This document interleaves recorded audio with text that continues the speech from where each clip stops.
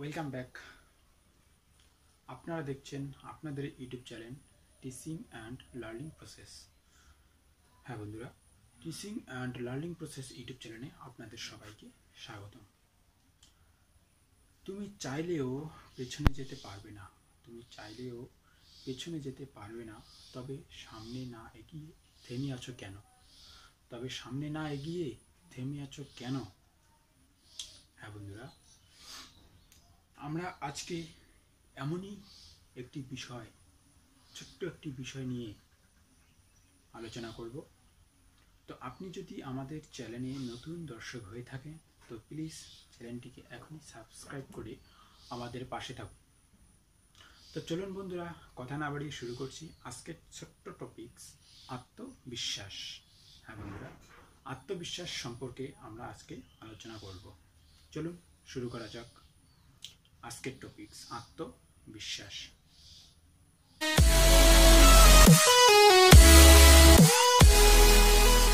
তো বন্ধুরা, আমরা সবাই জানি আত্মবিশ্বাস কি।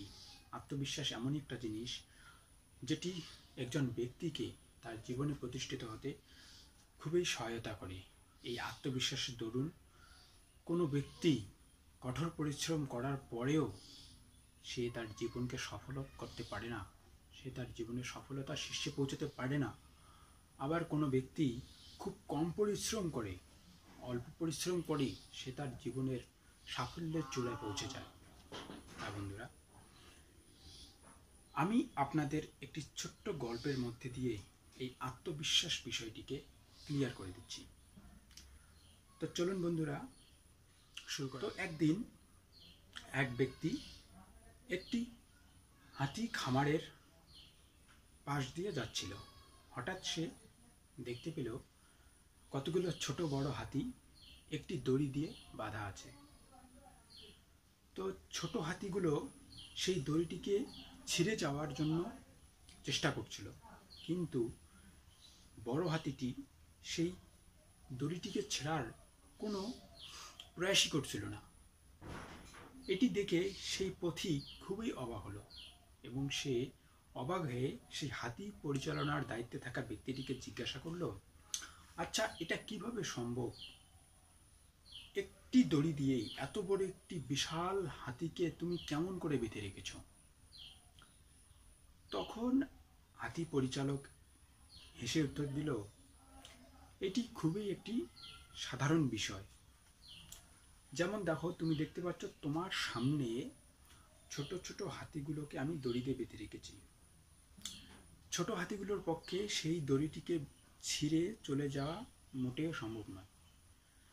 ফলে তারা বিশ্বাস করতে থাকে যে আমরা এই দড়িটিকে ছিঁড়ে কোনোদিনও চলে যেতে পারব না। ফলে তারা একসময় এই দড়ির প্রতি দুর্বল হয়ে পড়ে এবং তারা বড় হয়েও আর চেষ্টা করে না এই বড় হাতিগুলোর মতো যে তারা সেই দড়িটিকে অনায়াসে ছিঁড়ে অন্যত্রে চলে যেতে পারবে। ফলে তারা আর কোনোদিনও চলে যেতে পারে না এই দড়িটিকে ভেদ করে চলে যেতে। তো বন্ধুরা, এখান থেকে আমরা এই শিক্ষা পাইলাম যে কিছু কিছু ব্যক্তি, কিছু কিছু মানুষ, সেও তার জীবনে এইরকম কিছু আচরণ করে। সে নিজের অজান্তেই, সে হয়তো নিজেই জানে না যে সে ওই কাজটির প্রতি, ওই বিষয়টির প্রতি উপযুক্ত হয়ে গিয়েছে। উপযুক্ত হওয়ার পরেও সে চেষ্টাই করতেছে না।